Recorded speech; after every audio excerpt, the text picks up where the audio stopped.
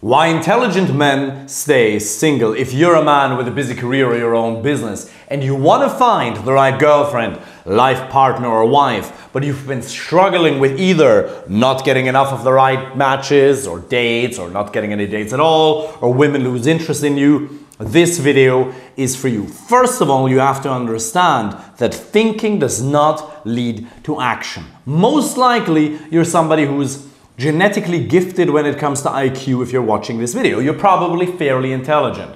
But you realize that thinking about introducing yourself to somebody, be that on a dating app, carrying a conversation forward, or in real life, does not necessarily equate to actually doing it.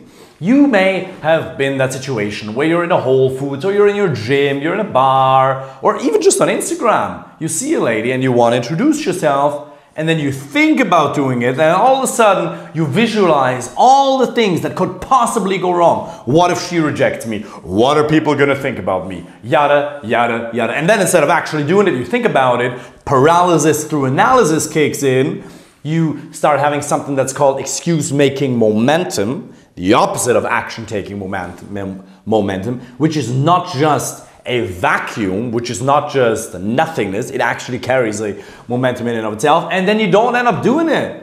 And then you get into a spiral of not taking action, of not using these opportunities. Because if you want to find the right girlfriend, life partner, or wife, you one, have to create more opportunities for yourself to meet high quality women. And second, you need to improve your communication skills to an extent where, you're, where you'll be able to harness those opportunities. It's very important. So, first of all, understand that if you want to break the habit of overthinking, you can only do that with massive action. Dating is not an issue of intellect. You're not missing any intelligence. Yes, there's a skill set and certain dynamics when it comes to building attraction that you need to understand, but way more, it's an emotional thing. When you see somebody that you want to introduce yourself to and you haven't progressively desensitized yourself to the fear, well, it's gonna get difficult. And also, you have to understand that if you have a professional career, if you run your own business, for the majority of the last 10, 20, 30 years of your life, You've been communicating in a professional manner, which is a very concise and logical form of communicating, which delivers the desired results. I mean, the success you currently have in your career or your business comes from being a generally good communicator, at least in a professional environment. But women, they don't come to the date for a logical exchange of information. They want to feel emotions. And it doesn't matter how intelligent she may be herself. She is in her head, logical as well, Monday to Fridays, 9 to 6.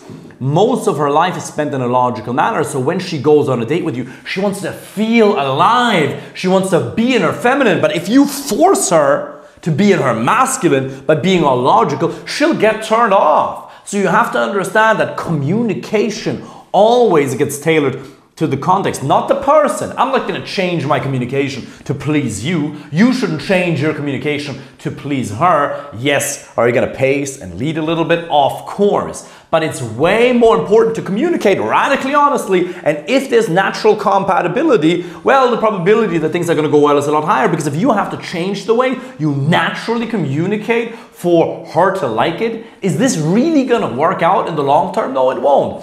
That being said, you do have to adjust your communication to the context you're in because on a funeral, you're going to communicate very differently to a basketball match, to a baseball match, to a business meeting at work, to a date. And when you're on the date, you have to learn to communicate at the level of emotion and not logic. And you know, when you get in your head and you start overthinking things and you become very self conscious, one of the fastest ways, there's a million techniques and apply for a free initial consultation call if you want to learn all of that in detail, if you want my help with that personally. But one of the very fastest and most rapid, fastest and rapid techniques that you can use to become less self-conscious and more confident and to stop that overthinking is to turn your attention outward because if you Tony Robbins says suffering comes when we obsess about ourselves but if you turn your attention outward and have 80% of your focus, your attention on her, well, there's not too much left to worry about because all you can worry about is her. And maybe you end up worrying about whether she's actually right for you. Hmm, I like her. Or rather, she's intelligent, she's beautiful. I hope I like her. Instead of, oh, she's so pretty, I hope she likes me. No, she's very pretty, I hope I like her. But if you place your intention, you literally turn, and that works for all social occasions, by the way.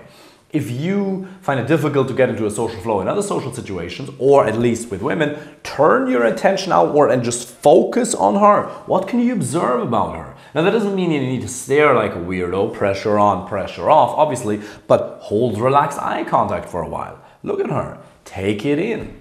Be calibrated, be respect, be respectful. But by turning your attention outward, there'll be a lot less left to worry about when it comes to yourself. So if you want to find an amazing girlfriend, life partner, or wife, you need to learn to communicate at the level of emotion. I'll give you an example. I was once on a date many years ago with a lady right after I got done filming client videos talking about the various psychological human needs we have. And so I arrive on the date, and I'm totally in the flow after two to three hours of filming videos, very much like this. This was five years ago or so. And I get to the date, and we arrive at the bar and I ask her what she would like to drink. She says a red wine. I say, okay, cool. Why don't you grab that and take a seat in the corner? These booths over there, they look nice, the couches. So you can sit next to her, not opposite of her. And I order myself a cranberry juice because at the time I wasn't drinking any alcohol. Now I still drink very, very little, a couple times a year, maybe. That's it. Um, so I get back to the table. First of all, she asks me, What did you get? A cranberry juice. She says, You don't drink alcohol? No. Why didn't you get anything to drink? I said, ah, I don't drink. She says, Really? Oh, wow, that's actually really cool. For those of you who are worried that you need to drink alcohol on a date, absolutely unnecessary. Cut that shit down. It may boost your confidence in the moment, but it decreases your calibration very soon after. And women will find it actually very attractive if you cannot drink alcohol and defy certain social conventions. So, we sit down, we start talking, and after five minutes of chit chat, I basically go on a 35 minute rant of me passionately expa- explaining the different psychological human needs we have. Why? Because it was top of mind for me and it's something that I gave a shit about. And I'm not telling you to do that. It's not a technique. There's way better structures that I teach in my coaching program in detail on how to build attraction and how to navigate the conversation. That being said, we ended up spending the night together after I, the date lasted 45 minutes, out of four, 40 minutes of which I just went on this rant and I explained to her these needs. And she was just watching there, observe me give a mini presentation. I'm not telling you to do that. And there's many contexts where it wasn't, where it wouldn't be appropriate, but I didn't care because she asked me, so what do you do? Well, and then I talked to her about that. And it was, I so didn't give a shit whether she would approve of it or not, because it's something that I genuinely care about. And let me tell you something. If there's something that you're passionate about and she's not excited about listening to you talk about whatever you're interested in, be that jujitsu, be that rock climbing, yoga, gym, whatever your hobbies are, your business. If she's not excited to li- real estate, if she's not excited to listen to that, well, it's never going to work out anyway. Now, obviously, you need to learn to build attraction, and there's more to that, right? Don't compare yourself to me. You're talking, no, you're not talking. You're listening to the Michael Jordan of dating right now. So I can get away with not following the textbook framework, so to speak. That being said, if you communicate what you're genuinely passionate about in a certain way while not giving a fuck whether she approves of it or not, while being calibrated, while being respectful, and while finding ways to relate it to her in an intelligent manner, things can go extraordinarily well and she'll get very excited about being with you if there's compatibility because that's the difference between me and some of those pickup artists. The pickup artists will tell you, I'll help you to fuck any women, any woman that's out there.